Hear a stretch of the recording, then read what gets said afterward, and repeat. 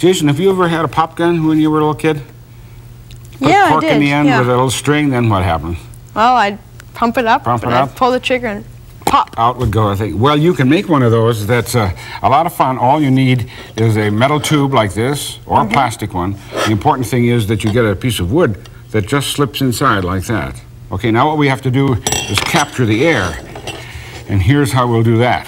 Oh, the, like this is like the cork. Right, that's I going get to be the cork. But it'll work, as a matter of fact, as two things. Here's the cork, but now you had a plunger. I think you now understand the idea. Yeah, so I get another one. All right. Okay, now when you start with the plunger, here, just hold it here like this. Okay. What's going to happen? Oh, you've already compressed the air. It's coming out a little bit. Okay, what will happen now when you push with the It'll plunger? pop like the that? end out. Why? Well, because the air inside is getting really compressed and it's going to push the other end out because Yes. there's not enough room for it. In other the words, air. the pressure will get greater and greater and greater as the plunger goes here until the pressure is stronger than the friction holding the plug in. and out it'll come. Okay, so try. Do the firing it that way. Okay. Okay, not too hard. Look what.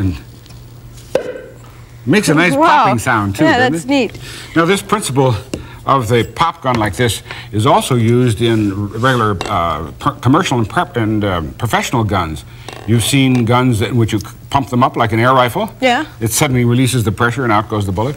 Others use uh, containers of carbon dioxide gas and fire. Oh, yeah, like- Same idea. Uh, like those little cars that you put a CO2 cartridge Right, in and out shoots comes the off. gas. Okay. So here, take your ammunition and your pop gun and stand over there, and I'll set up a target for you. Okay.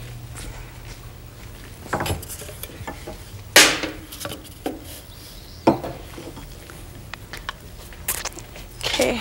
Not exactly the most accurate gun in the world, but let's see how you do. Go ahead, fire.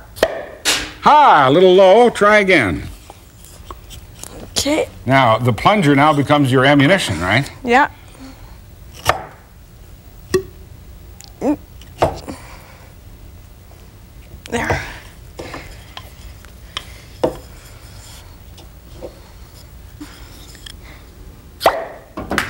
Well, you pushed them both out. Anyway, you get the general idea. You can make these for your young friends because they have a lot of fun firing a thing and then they really can't hurt anybody.